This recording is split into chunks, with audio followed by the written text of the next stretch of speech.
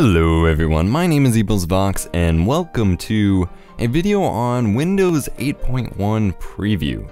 This is a preview of the service pack for Windows 8, which is kind of Microsoft's way of making up for the kind of rocky launch to their new operating system version.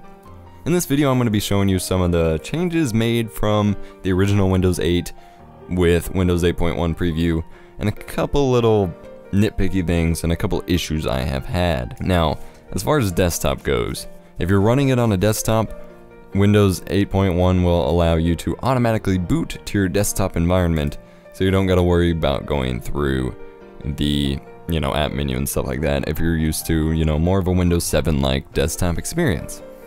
Other apps and modifications allowed you to do that in Windows 8 that most people have already set up, so that won't impact very many people other than those just starting out with Windows 8. There is now a start button on the taskbar here. However, unlike this taskbar, you know, the start menu button replacement I was using called Pokki or Start 8 or any of those, it does not bring up a classic Windows 7 style start menu, it just takes you to the Windows 8 Metro start menu. That may not be good enough for most people, and unfortunately, since Windows Metro does not interact with Windows Explorer, there's no going to like start my computer. So I still have the File Explorer app icon pinned on the taskbar so I can go up to this PC, which is the new desktop, or the new My Computer. For whatever reason, which I do like the idea, but I know it's gonna piss a lot of people off because it's change and change is bad and people aren't used to change.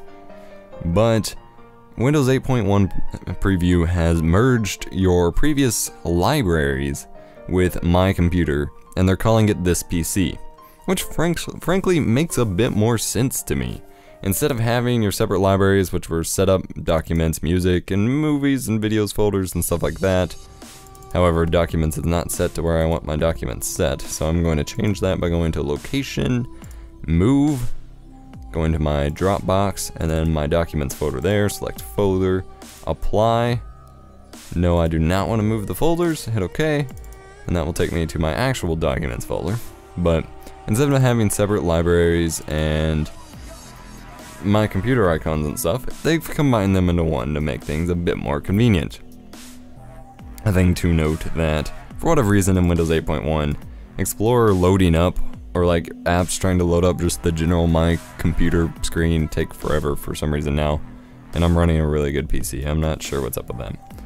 But this actually makes things quite a bit more convenient. However, when my muscle memory for the past ever of Windows is used to go on my computer and the C drive or my second drive, I'm going to end up in some weird places for a little while until I get used to it. As will most people probably. Another change they have made, and this one I'm not entirely sure why, but the charms on the right hand side, if I can get them to pull up here. The charms, the charms, the char hello? The charms are not wanting to pull up. Okay. And get them to pull up on this screen. There we go. They lowered them. Originally they were centered here on this right hand bar.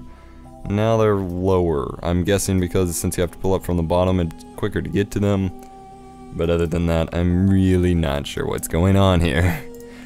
I thought it was just an issue on my computer, but I don't know to be honest. Alright, and if you go to change PC settings, you actually have a different set of menus and options and stuff than you originally had with Windows 8. Here you can set your account picture, your lock screen picture, if you use a picture password, the picture for that. And then you get into some um, some settings for some of the new settings, and it gives you things that it suggests you change, such as I don't have a default mail app. I can choose that, click it, except I do already have a default mail app, so that needs to go away. For whatever reason, it does not detect that the Windows 8 calendar app is a calendar app. Don't know what the hell's wrong with that, to be honest. And you can set your apps here. Thankfully for Windows 8 running on a desktop, it does detect desktop apps as quote apps for email, music player, things like that, so you don't gotta worry about that. But these are just your top settings. So you have your picture options, and then this is for the syncing. You can tell it how to upload photos. I tell it best. Quiet hours for notifications. I have those turned off. And then app sizes, notifications, things like that. We go to PC and devices, you get more into the detail of your lock screen. You can now set a slideshow as your lock screen and choose the folder, which apps show up on your lock screen, which apps will show alarms. That's a new thing. Then you can use the camera from the lock screen as well. So if your computer's locked, people can take pic goofy pictures and you will find them. You also have display options. Instead of just doing the screen resolution option on the desktop, you now have this option in the Windows 8 menu, which is pretty interesting. There is a devices menu as always to show you devices. You have some customization apps for the mouse, touchpad, typing, changing what happens when you navigate to the corners and edges of the screen, power and sleep options, autoplay options, and for whatever reason it doesn't detect what you had set originally because it treats Windows 8.1, and there's not even anything here. It treats Windows 8.1 as a new Windows install, kind of. So you can set those however you want. And then your PCM info, which just kind of shows some specs about your PC. I'm pretty sure this product key is the same product key for everybody who downloads Windows 8.1 preview, so don't try and steal it. Or, I mean, there's really no point. Your PC name, how much RAM you have, 64-bit, processor power, things like that. Okay. Now if we go into the account options, account picture, and make a new one, the account tied to it, sign in options, password, picture password, pin, and then you can add other accounts to your device. Next is the SkyDrive. With Windows 8.1 preview, you have the options of setting up everything to sync to your SkyDrive account. SkyDrive is now completely integrated into the Windows 8.1 operating system. You have 7 gigs available free, kind of like Dropbox, and you can buy more storage and set up additional plans. Now, by default, everything is set to sync to SkyDrive, and then you can customize it here. I have it set to upload photos at best quality, not to upload videos. Meter connections only apply to devices that work on cell phone signals, which my desktop does not. Uh, tell it to save things to SkyDrive by default. That's actually pretty useful, especially on an RT tablet where I want things to sync over to my desktop. And then sync settings. This is where you can customize everything. Sync things on this PC, of course. Backup things that aren't synced yet. Yes. Your start screen. This is something I would absol absolutely recommend you turn off unless you just happen to have two of the exact same computer for whatever freaking reason. And I will explain that in a second as I get through these. Appearance, such as your lock screen, colors, desktop personalization. I've loved that. That's been in there since Windows 8 started, and I absolutely love that. I can keep the same wallpaper and lock screen across my tablet and desktop. You can even sync which apps are actually installed as well as the data within it. That's pretty cool. So if you install an app on your desktop, it'll install on your tablet when you load it up. And now you can sync your web browser pages. Obviously, Windows, uh, Internet Explorer is the only really integrated browser for this, but it's still pretty cool. I can have a tablet open at school on my tab, or a tab, yeah. I can have a tab opened on my tablet at school, and then send it to my desktop. Then language, passwords, ease of access, File Explorer settings, you know, the usual. And then metered connections is a pretty big deal, but I can't really imagine anybody using a Windows device on cell phone signal, other than phones, which have completely different options here. Now, these start screen tile layout settings. I would absolutely recommend that nobody have that set. I had that set up just when I was trying things out, and it just destroyed both my desktop and my tablet. The reason for this being is it literally tries syncing your tile placement and which apps you have where across all your devices. I have a Windows Surface RT, which runs Windows 8 RT, not the full desktop version, and my desktop. My desktop has desktop apps, as well as Windows 8 apps, and games that aren't going to be on my Windows RT. My Windows RT only has Windows RT apps.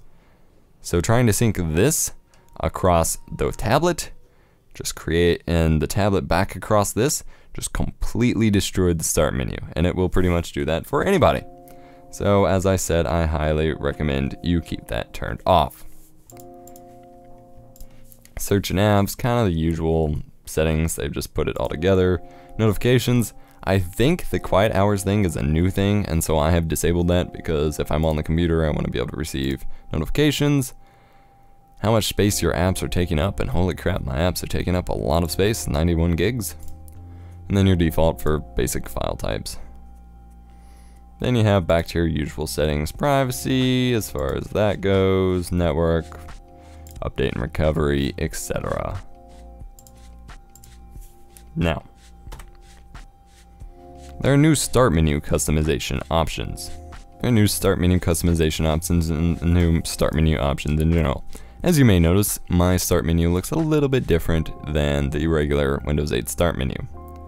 I'm able to have more tiles vertically across and horizontally across the start menu. There are these smaller tiles now. The background is different and acts a bit different. And we have this button down here. Now to change around your start menu, you can right click and go to customize. And this is where you can rearrange your tiles, rename your groups, which works a lot more efficiently now, and then use the new tile size options.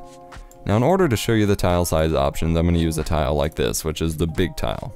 Right click it or in the customize menu, go to resize. This is a kind of new button. It used to be make small or make big, uh, or something like that. Now it's resize. You have three options for this one, wide, medium, or small. Wide is the full rectangle that takes up two squares worth. Medium's the one square. And then small, oh nope, don't uninstall. Small is this tiny little square and I'm going to make this back to wide and go show you, like these. So these you actually get to have take up, you four apps take up the entirety of one regular square tile, which is incredibly useful for apps you don't need the full picture for, and to save some space on your screen. I absolutely love that. One more thing about this I did want to show you. If you choose to uninstall an app, let's uninstall TED Talks HD. Uninstall. By default, it can uninstall it from this PC as well as anything that's set up to sync from it. So if I just decide this app is crap, I absolutely don't want to use it, I can uninstall it from this computer as well as my tablet at the same time. Or if I choose, hey, I just don't want it on this device, and choose only this PC, click uninstall, and it will only uninstall it from this PC while still leaving it installed on my tablet. That's pretty neat in my opinion. Now, there's this arrow down here. You can access this by clicking the arrow or on a tablet, swipe up from the bottom here, and it takes you to the My App, you know, the full apps list of all your desktop programs as well as Windows 8 apps. And then use this arrow or swipe up to get back up there. Seems pretty simple, but this was actually not very easy to find in the original Windows 8, for whatever reason. Now if we now if we go over to your charms again, which of course is going to be very difficult for me to pull up for whatever reason, don't know why it hates me today. Now look, okay. So this explains the charms. You pull up, you pull them up from the top, it sorts them up here. Pull them down from the bottom, it lowers it. So I guess that kind of explains the relocation, even though I don't necessarily agree with it. You go to sit in the settings charm and personalize, you get more background options. You get new pictures, and I'm kind of frustrated, but I can't find the original picture I had set for my background. I don't know if that is somehow located somewhere else or if those are gone now. And then you get to actually change the color scheme of it a bit more than you could before. You get an accent color and the background color and you get to change those to your liking. And then you have the option over here of doing just a solid color or your desktop wallpaper as the background as well. I don't necessarily like having that because it just doesn't look right with those apps, but it's still pretty cool nonetheless. I also don't, I don't know, this blue feels kind of painful, but I'm going to roll with it for right now, just to show it off. Now, as I mentioned with the SkyDrive, if you had, for example, I had, hello, yep, the overall my experience with this new SkyDrive in, in, integration has been very unpleasant. I've had lots of permission issues, compatibility issues, and things like that. However, I think the source of that might actually come from I have Office 2013 installed, which installs or installed the desktop version of SkyDrive with the free 7 gigs of space to sync up my Word documents and things like that. However, how Windows handles that system changed with Windows 8.1, and it created, which I will show you in my computer here, or this PC, it changed how SkyDrive is set up. Originally, your SkyDrive was a folder like your Dropbox on hard drive, and then I had it set in my favorites here, and you can save to it, and then it, the app, like Dropbox or Bitcasa here, would automatically upload to your SkyDrive. Now with Windows 8.1, being integrated, it's its own navigation tree. When you go to save something in Word, blah blah blah, and you tell it to save automatically to your SkyDrive, it is literally just uploading it straight to the cloud. It's not saving it to... Don't save. It's saving it to this cloud storage. It's not actually saving it anymore to this folder system I had set up. However, if you do put files in this folder system, if you still have it, it will upload it to your cloud. That creates some permission and compatibility issues that I was running into. For example, my school folder for this fall semester, I originally had in my SkyDrive because I wanted it to be synced up between my tablet and my desktop because I take my tablet to school and I use my desktop at home. Hang on, I'm trying to get this set back up to hope that it works. But when I was working on this paper earlier today, I saved, you know, the quick draft with just like the title and stuff to the physical SkyDrive folder as I am used to. And then whenever I went to save again, it told me it couldn't save it there, and kept asking me to save in different places. I tried to recreate this issue on video before, and it did not work out so well. However, I did get a permission issue from just trying to open up a document. But clearly it's a little bit inconsistent and there's some permission issues. So if you have a similar situation to me, I would suggest just kind of leaving your folder alone on wherever you stored it, just to keep it safe, because you never know if you delete that, if it'll delete all your files. And just work within your cloud SkyDrive here, and within the default saving for Microsoft Office. So that's basically Windows 8.1 preview in a nutshell. Lots of strange and interesting changes, but should, once they get them worked out in the final version, make your Windows 8 experience a bit better nonetheless. Hope you enjoyed the video guys. Thank you for watching. Let me know if there's anything specific about Windows 8.1 you would like to know that I have not covered. Like what this minus button does here. Oh, that zooms you out of your start menu so you can view the whole thing as one giant map. Which actually doesn't serve any purpose as I discovered a long time ago. Unless you have just like groups and groups and groups just going on forever. And then you'd of course need to find one over here. But when you only have a reasonable amount of apps, you can't launch from here. This doesn't really serve any, any purpose other than being like, ooh, look, I have all these apps pinned to my start menu. Whoa. Yeah, that's about it. Hope you enjoyed the video guys, thank you for watching, and I will see you next time.